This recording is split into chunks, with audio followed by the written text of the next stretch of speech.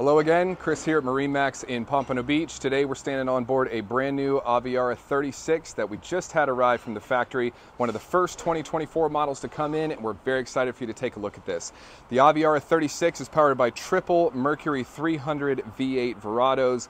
Awesome power package for this boat, gets you up on plane nicely, great cruising speed, and uh, really gives the boat a great dynamic on the water.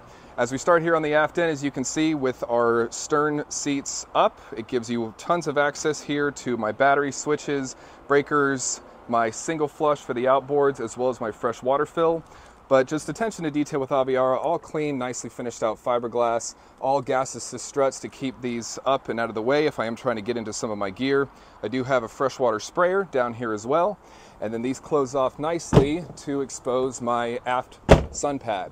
So nice sun pad, plenty of cup holders back here. Kind of a unique design if you haven't seen this barstool bleacher style seating before, but what this allows you to do is if I did have a bunch of people on boat that day, these backrests will actually hinge into position. And the point of that is if I had three people sitting here on the aft end of the boat, these upper seats allow for now six people to be accommodated back here for relaxing at the beach or at the sandbar and uh, have a nice social gathering spot here on the aft end of the boat.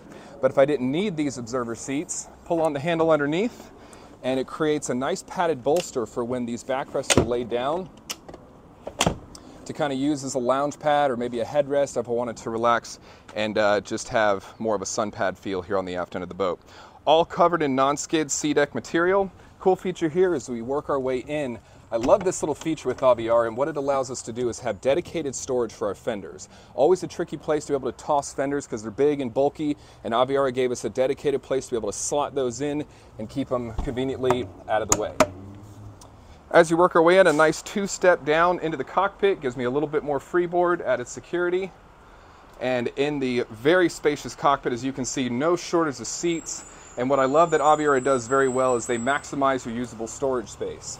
So underneath all of these seats is going to be storage. So you can be able to toss some of your gear out of the way. And then this here is actually a subwoofer, but what I love is that they keep it flush mounted with the side of the fiberglass here. So they're really maximizing the usable space down here in the cockpit.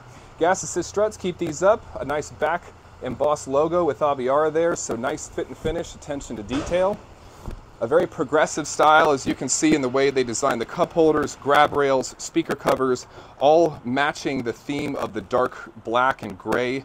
And uh, you can see the grab handles there, the stanchions and the hardtop, the speaker covers, all kind of keep that consistent theme, which I really like. Cool thing too, Aviara actually gives you two access points to fill up your gas tank. You have one on each gunnel line and they both feed to the same tank. So no matter where you pull up on the dock, you can uh, easily fill up the tank and not have to worry about spinning the boat. Summer kitchen, always a cool feature here with the Aviara on the starboard side. You have the option for a single or dual grill, and then underneath you have the option for single or dual refrigerator. Obviously, very hot in the state of Florida, so we like to keep our drinks nice and cool. So we went dual refrigerator on this boat, single grill for doing a little bit of barbecuing, and then here at the summer kitchen, dedicated bottle storage, a sink, and this entire compartment is insulated. And if that was not enough to keep your drinks cool, this boat also has a pull-out cooler that is removable. So if, uh, if I was on the beach one day and wanted to bring the cooler on, I could pop this whole cooler out, bring it on the beach, have lunch, and then when I'm done with it, tucks away nicely so it's not taking up any room in the cockpit. Go ahead and close down our summer kitchen here. One thing I love is the shape of this boat and the design and some of the angular lines to it. You can see that the modern look kind of continues through the shape of the hardtop and how they mold the lines in the hardtop. Very aggressive, very progressive style in the Aviara 36. I do have an observer seat with a flip down bolster. Kind of gives me a different vantage point here. And again, no shortage of cup holders as they line the entire port side of the boat. And we'll go ahead and work our way up here to the helm. So come around here real quick. I love this feature on the boat. As you can see here, I do have just my standard view for my view over the windshield, but if I need a little bit elevated point of view, I do have a little booster step there to be able to give me a little bit better view over the top of the windshield cap. And then these cup holders are different from the rest of the boat because they're actually chilled. So here at the left tablet, and we'll go over that in a second, there's a function on here that allows me to chill these cup holders to keep the captain's drinks nice and cold. Convenient location for my VHF radio, digital throttle and shift, and my joystick for my Mercury outboards. And then over here on the far right hand side is going to be my trim tabs and an inductive phone charger here for the captain as well. a big multifunction Simrad display in the center, my VesselView diagnostics for all of my engine data on the right hand side, and then this left tablet will control all of the systems on board from your pumps, your lights, your stereo, your sunshade that comes out of the back of the hardtop, your engine compartment to be able to open that up and access your generator. So this is a fully integrated display to give you all access to all of my systems on board.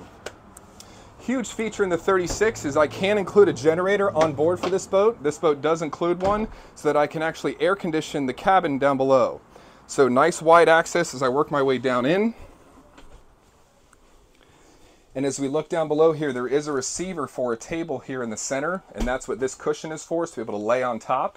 But if we weren't going to be using this as a berth to be laying and spending the weekend on the boat, a cool feature like we had on the aft end is this centerpiece will ratchet into position, giving me a backrest. So if I wanted to just get out of the sun and come down here and have a meal, I can have two people sit here comfortably, as well as where I'm sitting as well, and we can relax inside the boat here I do have a Klipsch audio soundbar, flat screen Samsung TV, microwave, and additional storage down here below.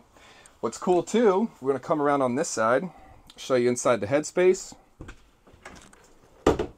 I do have a nice stand-up head, and that is a wet head where I do have a pull-out shower sprayer as well. Working our way forward into the bow here of the 36, one thing I always like to mention is the gunnel height as I work my way forward. Other bow riders and luxury day cruisers in class sometimes give you a little bit of like a downward sloping bow seating arrangement, but with the Aviara they maintain that freeboard all the way up into the bow. So a nice padded bolster to lean up against. You can see nice and deep up front here. So if I am going to be doing some open ocean cruises, it does give me a little bit more sense of security when I am riding up here in the front of the boat. So at my height, 6'3", you can see it's hit me nice and high in the backrest, no shortage of leg space, tons of cup holders, extra speakers up here, as well as the stereo control. And there also is an option to fill this in to give me another sun pad here in the front of the boat. And one thing that's really, really cool, I love showing this too in the Aviara, is how they finish out all of their compartments. So everything on the boat has an A-side, B-side finished fiberglass hatch.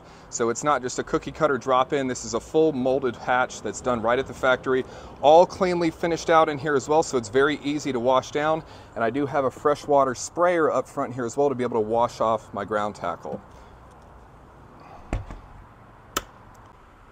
I really hope y'all enjoyed the look at this brand new Aviara 36 here at MarineMax in Pompano. If you'd like to set an appointment or had any questions on this boat, feel free to call or text me at 727 460 4175. Thank you.